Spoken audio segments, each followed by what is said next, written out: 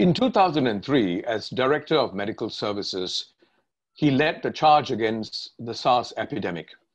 He then went on to serve as the President of the National University of Singapore for a decade. Today, as Singapore's Chief Health Scientist and as Chairman of the Committee of Government Scientific Advisors, he's been playing an instrumental role in our battle against COVID 19, the pandemic, that is. Professor Tan Chorh Chuan, welcome to Inconvenient Questions.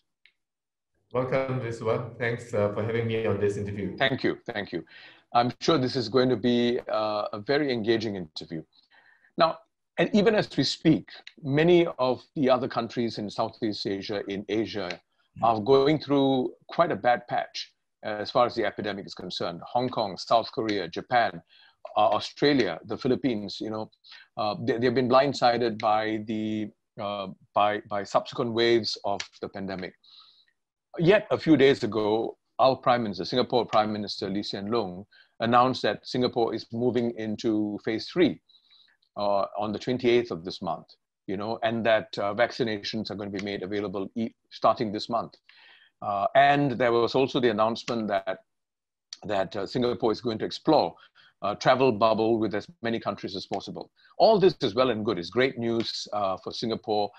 Uh, as far as the economy is concerned, as far as convenience is concerned, but there is also at the same time a growing concern that maybe we are compromising safety in the process. Uh, is there any, any, any validity to that, that concern? Yeah, so first, uh, I think uh, you're right that we are in a good position now in terms of the very low levels of community transmission in Singapore, and uh, that we are able to live life quite normally, albeit with some uh, restrictions. Uh, but you're also right that uh, all around the world, the situation is actually pretty serious in terms of epidemic spread, uh, not just in Southeast Asia, but uh, in the continuing epicenters for the pandemic, which are in Americas and also to some extent in Europe. And for us, the uh, potential areas where we could have uh, new sources of outbreaks would be through importation. Yeah, but that, that's where the concern about the travel bubble liberation uh, yeah. is, is, is valid, isn't it? It is. And, uh, and yet uh, we know that it's quite likely that this pandemic in its current phase will last for quite some time, uh, at least for a year, perhaps two years. And it is really not feasible or practical for Singapore to remain closed essentially for that long period of time. Uh, in the end, uh, we are a globally connected country. We rely a great deal on that global connectivity uh, to uh, thrive as a society and nation. And therefore, like in most things in this pandemic, it's an issue of balancing the risks against the needs and potential benefits and to be able to find a way to uh, mitigate the risks while trying to achieve the things that are important for us, not just in the long term, but actually in the short and medium term. Yeah. So the reopening of Singapore has to occur, but it will have to occur in ways that are safe, that take into full account how we can manage the situation yeah. in Singapore. Okay, so so I, I believe it is actually this, this, this positivity um, is linked to the availability of vaccinations. Uh, uh, I think it was a couple of days back or, or, yesterday that you made the announcement to the media that uh, you imagine, you, you, believe that Singapore needs about 80% of Singaporeans vaccinated before we can have the herd immunity effect. Uh, could you elaborate on that, please? Yes, I think we could think in terms of a number of stages that uh, vaccinations can help us achieve. Because uh, as we all know, the virus uh, spreads uh, quite in a quite a predictable fashion. And uh, there's one fundamental root cause, which is the fact that uh, the vast majority of the population in Singapore and around the world have no immunity against this infection. Mm. And so whatever we do, uh, we're just trying to stave off uh, being exposed. But the fact is that uh, most of us remain susceptible to infection. So the main way in which we can reduce this risk is uh, to develop immunity. And the presence now of at least one vaccine that is effective in conferring immunity would offer us an opportunity to uh, increase the immune status of our population. But why, uh, why 80%, Chorh Chuan? Yeah, that seems a pretty high start, figure. Uh, and we should start uh, thinking about a certain uh, pattern. That firstly, uh, because of the way we have to roll out the vaccines, we will initially have to protect healthcare workers. And if you think about what is the reason why the impact of the pandemic has been so severe, it has revolved around a few things. Uh, the first is uh, the health system gets overwhelmed. Therefore, the health system is unable to provide adequate care, not just for patients with COVID infection, but for all types of causes.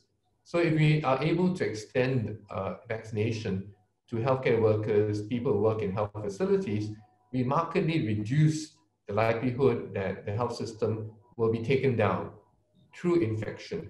And therefore, we protect that capacity to look after people. Then if we start to think about the next group, which are the vulnerable population, the elderly, those with chronic diseases that make them more susceptible to severe infection, if you're able to protect them, then the amounts of um, uh, severe disease, uh, of mortality will also be markedly reduced. And uh, this would then make the disease much less severe overall and would allow us to uh, continue without having a, a, great deal of morbidity and mortality and also preserving a health system. Yeah. So, and, and yeah. finally, when we go beyond that, if we're able to then vaccinate uh, the wider uh, population, that will be really important because there will be some individuals who are not uh, suitable for vaccination right now or are not able to take the vaccination. And to protect them, we need to have an adequate percentage of our population hmm. to be immune so that they get indirectly protected from infection themselves. Right. So, so it's going to be done in, in, in stages. Uh, and, and these priorities have already been determined. Am I correct? Yes, and it's not just a matter of priorities, but uh, the consequences of vaccination on mitigating the risks. Right. And, uh, so when we think about the priority groups, they also reflect how we hope to be able to blunt the most serious impacts of the epidemic yeah. uh, sequentially. But eventually, of course, what we like is to have a situation where there's sufficient immunity in our general population so that we won't have uh, significant size outbreaks. Right, right. So it's, it's like concentric circles, right? You start with the, with the, with the center where, where the impact on the others is pretty strong and then and then you start moving out. Yes because eventually i think we are not going to be able to eradicate this virus. It's going to be with us for a long time. Uh, but we if if the impact of infection is markedly reduced then it yeah. will not be as severe as it is now. It will become more like uh, one of the regular infections maybe a mild form of flu. Right. if we can move ourselves towards that then of course it'll be much easier to deal with. Yeah. Now, 80% is, is a very uh, significant number, target. Uh, anecdotally speaking, you know, I, I, have been talking to people, people I know, my family members, my friends. Uh, I can tell you, strangely, there's a lot, there seems to be a lot of resistance. I would say that uh, six, seven out of 10 people I speak to, uh, able bodied individuals in their 40s, 50s, uh, all saying no they don't they, they, they, they don't want to do it. And many of them say well you know maybe at best i will do it after i watch and observe how others are faring. Now at, at this rate i don't know how we're going to reach that 80% target that you're talking about. What appears to what seems to be the primary concerns uh, based on your understanding your reading of the picture primary concerns that singaporeans are having about this Yes, I think it's a really important point, and uh, there are a few issues I think at play here. The first is uh, uh, people worry because this is a new vaccine. It's been uh, developed and approved in a very, very short time frame uh, for a variety of uh, good reasons. And so people worry about the efficacy and safety.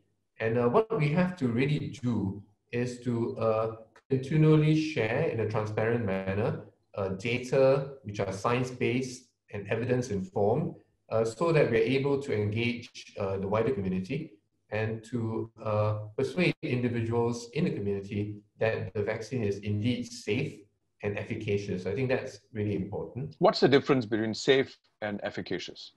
So efficacious refers to the ability to protect uh, the individual who is vaccinated. So in the case of the Pfizer BioNTech, uh, if you take a vaccine, then you have a 95% chance of developing immunity. And that immunity reduces uh, your likelihood of getting symptomatic infection. So efficacy is equal to protection. Safety is uh, side effects.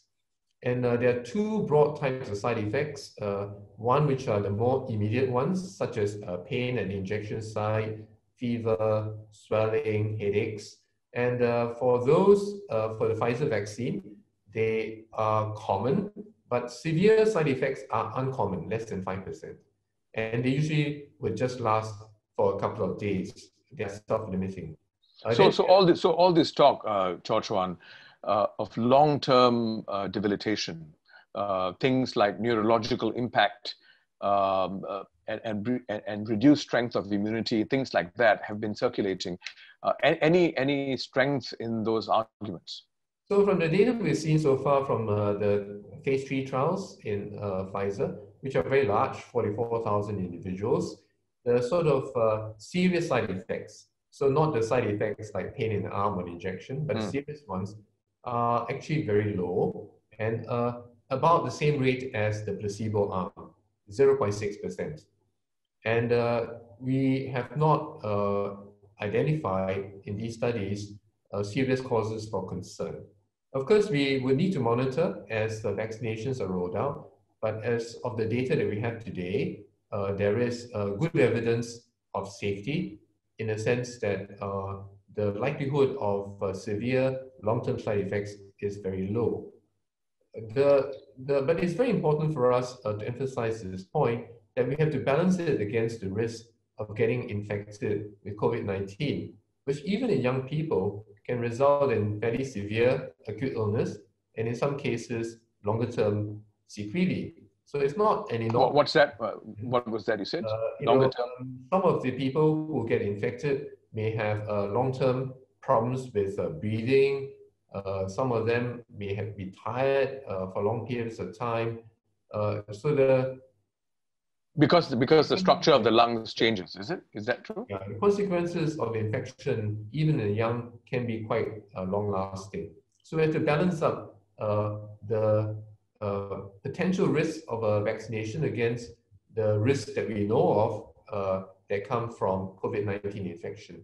So I think one uh, cause for hesitancy amongst the population is uh, that this um, vaccine is new, was developed very quickly. I think another uh, potential um, factor at play is that people feel safe. Uh, the, the transmission rate in Singapore is relatively low, and therefore uh, people feel there may not be a pressing need for, for them to get uh, vaccinated. The, the, not just the transmission, the, the death rate is also very, very, it's 29 as it stands, uh, exceptionally low. low. you know, but, so that, that's giving this.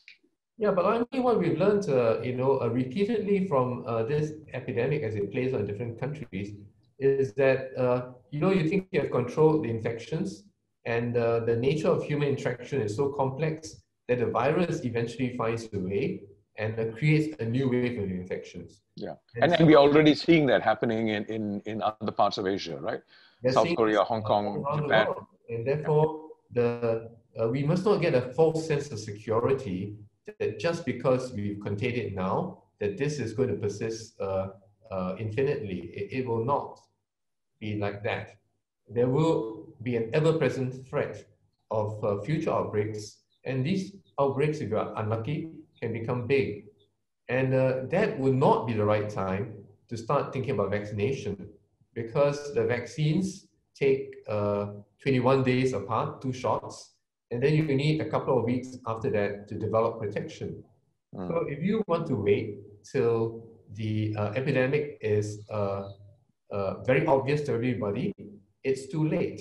It's too late. What, what I'm hearing, what I'm hearing, Chorh Chuan, sorry, is it's not just an individual decision, right? I mean, honestly, the way I see it, uh, and each individual's decision is going to have an impact on how society actually moves forward in our battle against COVID. because if we do not, if each individual decides on his own that I don't want to do it, I'm going to wait for someone else to do it first, uh, we're not going to hit that, that herd immunity target that you're talking about, if not 80, not even 70, you know. And if we don't do that, it's going to come back to hit us because our, our life is not going to get back our chances of getting back to normal are, are going to be pushed down further. Uh, yes, I mean, that's the way I see it. Yes, indeed. Uh, this, I think that's a very good point. That uh, first we want to protect ourselves, and uh, I mean the vaccine now gives us an opportunity to do so. And while protecting ourselves, if enough of us in Singapore get vaccinated, then we will achieve herd immunity. By which I mean that uh, sufficient numbers in our population are protected, and this indirectly reduces the risk that those who are unable to get vaccinated, they too will get protected because they will be less susceptible to infection. So in that way, we won't just be benefiting ourselves, we would be protecting the wider community, including our loved ones, yeah. and including those who are not able or suitable to have the vaccine. And, and that also allows us to open up our, our, our borders, right? I mean, we can be a lot more confident about people coming in because we are immune. We can we are also going to be a lot more confident and comfortable traveling to other countries because we are vaccinated. Uh, you know, all, all, these things also add up because if we don't do it as individuals or collectively, then we will pay a price. Uh, and as you said, it's a risk benefit analysis. So I, I guess what I'm hearing from you is it's no more just as simple as my personal choice, my personal liberty. Uh, it's also something that we need to consider how our personal choices and decisions are going to impact uh, on, on society as a whole. Uh, another quick question. Uh, th this is another reason why people are concerned. In the, in the USA, which is often used as a benchmark, right? From what I understand, for any pharmaceutical products, to gain uh, approval by FDA, right?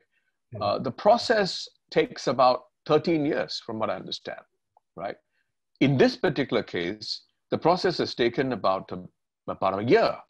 Now, that's that's quite alarming. You know, how how are you able to do this?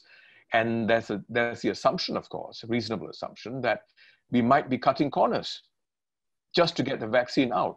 How would you respond to that as, as a medical practitioner and a scientist? So that's a very good point, but I just want to make a comment to your earlier remark that uh, vaccination will allow us to open up safely. And just to say that that's completely true. And the alternative is we'll have to try to seal ourselves off for a long time, yeah. uh, just to uh, hermetically prevent any imported cases, which is not going to be feasible and it's not going to be good for ourselves our families or Singapore as a whole. Yeah. Uh, you raised a very important point, which is uh, how is it possible that a vaccine could be developed so quickly? And I think there are three uh, important things that have changed, which has made it possible. Uh, the first relates to the science. We had the advantage uh, that uh, scientists have been working on developing effective vaccines against the SARS virus in 2003 as well as the MERS uh, virus uh, later on. And therefore, uh, a lot of prior scientific work had been done and a lot of very powerful new science platforms have been created. So when COVID-19 hit us, we were able really to move very quickly because of all this prior work on uh, coronaviruses. It uh, allowed a very substantial uh, acceleration of the development of a vaccine for this related coronavirus. So that's one very important part. The second very important piece is the way in which clinical trials have been done. And one has uh, been previously uh, in sequence type of uh, activity, meaning you finish uh, a phase one trial, take two years, get approved, then you do a phase two study with some more patients to show safe, uh, that it works. That takes another two years. Then you do a phase three trial with yeah. more patients to show efficacy. That'll take several years. Uh, what has been done in this pandemic has been to overlap these different phases. So the same number of uh, patients are being studied. In fact, a larger number of patients are being studied. 40,000, 40, I hear, for, 40, for Pfizer. And um, that, but the, the overlap allows them to uh, uh, move much faster. And the, the size of the studies uh, are, is large because of the wide amount of uh, infection going on. So the Pfizer study had uh, 44,000 uh, people in it, of whom uh, half uh, were patients who were given the vaccine. Just a quick quick check. Uh, the normal normal test means not not this epidemic, not, not this pandemic. Uh, FDA normal test. How many people are usually surveyed?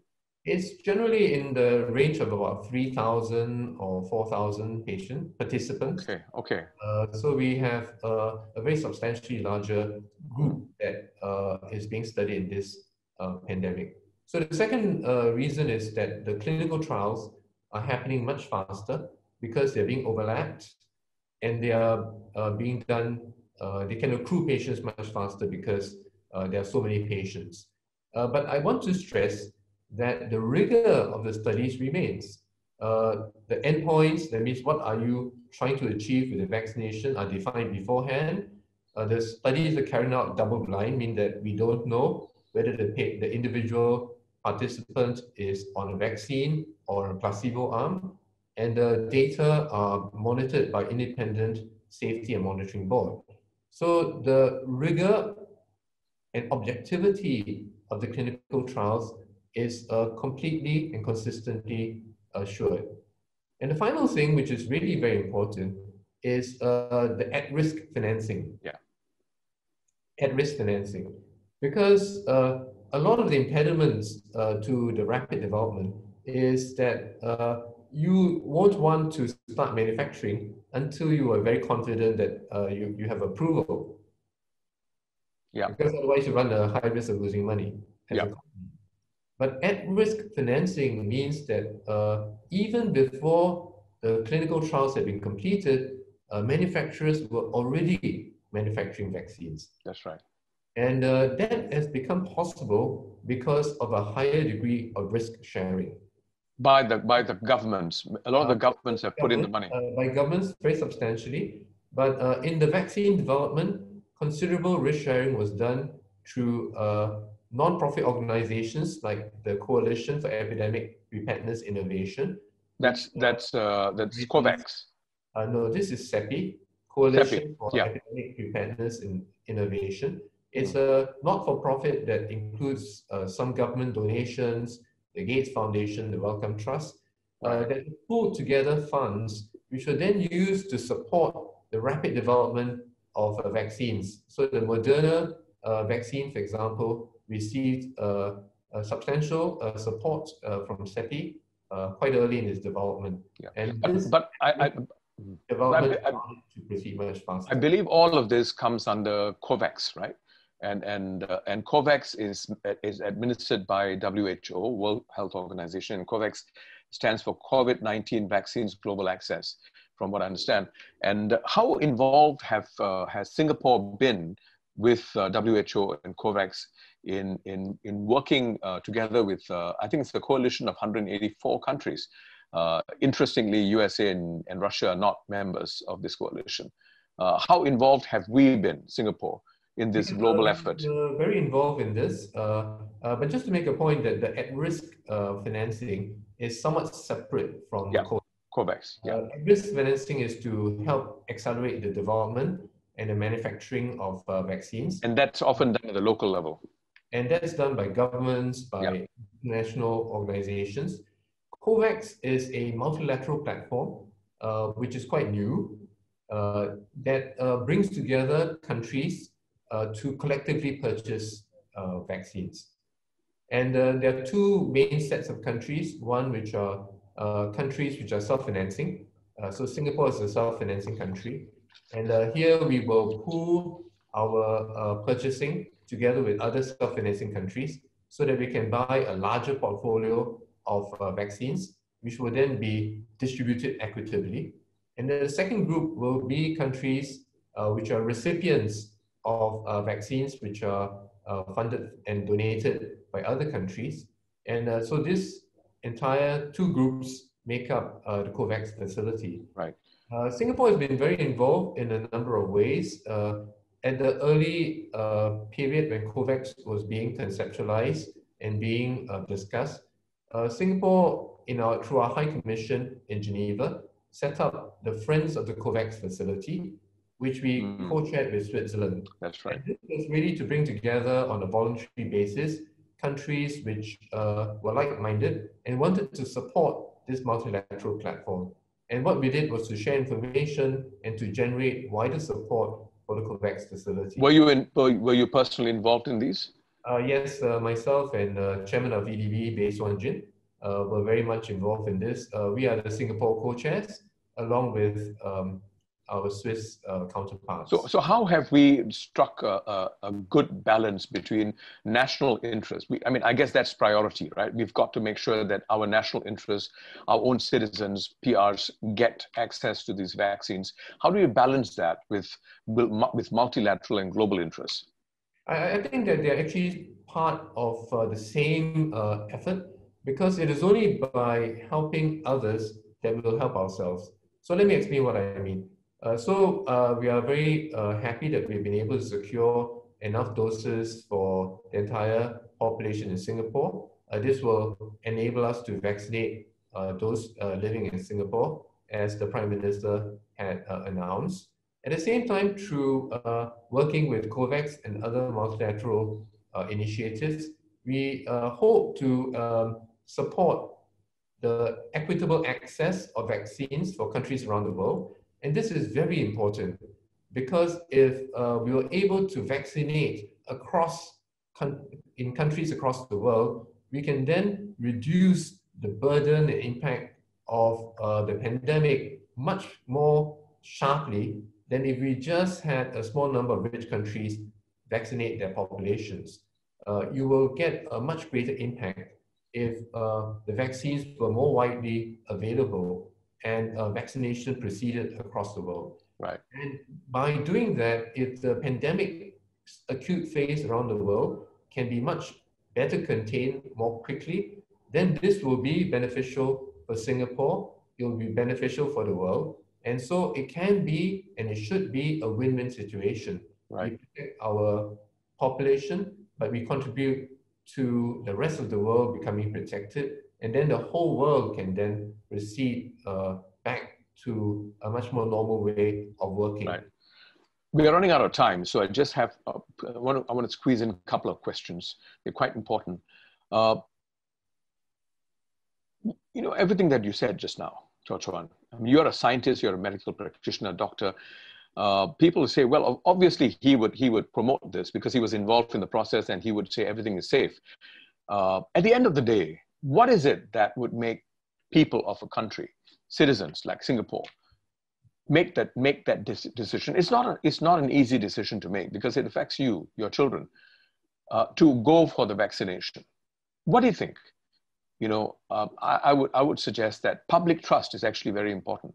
You know, uh, when we see uh, Minister Lawrence Wong, uh, you know, come up and talk, he's very persuasive you know but at the same time he's not a medical he's not a scientist you know. Uh, would you say that we probably need to see a lot more of people in the scientific community standing up credible people in the scientific community standing up and giving their objective assessment? Yes uh, absolutely critical. I think public trust is really important because this is a pandemic occurring during a social media era. Yeah. And therefore, the amount of uh, information and disinformation going around is tremendous there's so much information that many people have difficulty following, and uh, it's also not easy to understand many of the things that are being discussed. So I would say that uh, trust is really critical. Trust is underpinned uh, by a few very important things. One is uh, clear, honest communication and transparency, sharing uh, what the science knows and what is still unknown, that we shouldn't try to uh, paper things over. We should be honest and transparent, and this is an ongoing effort. And uh, as you rightly say, uh, the scientists, the public health experts, uh, the clinicians uh, have to contribute very actively to this engagement of the public. And uh, as we are seeing now in Singapore, this is already happening. So, so trust, I think, is really critical and open, transparent communications is the key of it. Second part is a belief in our institutions that uh, fundamentally, when the Health Sciences Authority, which is the regulator, reviews uh, the data, uh, they are doing it with the highest degree of professionalism and honesty. That, uh, that when they say that the vaccine uh, is authorized for pandemic special access route to be used in Singapore, that it is indeed safe. And uh, so this is a very critical thing, and I'm very uh, proud of uh, our colleagues in the Health Sciences Authority that uh, they work extremely professionally and they uh, look at the data very, very closely before they come to a conclusion. And I think the third piece is really about the examples that we set, because people can hear what you're saying, but they also look to see what we'll be doing. And uh, I would say that it's really good uh, that uh, our political leaders have already said that they will be taking the vaccines early. We are seeing this around the world. And if you ask me personally, I would take the vaccine too. Yeah. Because I think then that would be, in a small way, um, us demonstrating that we believe what we are talking about. Yeah. So at the end of the day, you know, these these decisions, while they're personal, they do have an impact on us as a collective, as the people. So we have to look at it from that perspective. And I think this public trust factor is very important. So far, I think the, the government of Singapore, the civil servants, as well as the political leaders, have earned much public trust. You know, but that public trust can dissipate as fast as it's it's there right? And that's why constant communication not only from the political leaders but also from members of the scientific community is actually very very important. We need to continue to feel and what you said earlier on was very important that the government will continue to continue to assess the situation because it can turn. And whether we have the honesty and the integrity to go back on our decision to cancel our process when we find that something is not as assumed you know and this is the final thing I'd like to say. Chuan, I've known you for a long time. You know, uh, you look much older than I, but we are the same age. Um, and I've always seen you as a person who's credible, above board, almost to a fault. And, um, and whatever you say matters to me. Thank you very much for joining me on Inconvenient Questions, Chorh Chuan. Uh, thank you so much, uh, Viswa. It's so kind of you to say that. Uh, we are in an unprecedented time with an unprecedented crisis, and I think all of us uh, are working very hard. Uh, many, many people across Singapore working extremely hard to bring this crisis to an end. And I think the vaccine offers us a really unique opportunity to do so uh, in a very fundamental way. So thanks so much for having me, and it's such a pleasure to be able to talk with you again. Thank you. And I say credible, you're a very credible person, even though you went to St. Joseph's Institution and not RI. See you. Thanks. Bye. Thank you.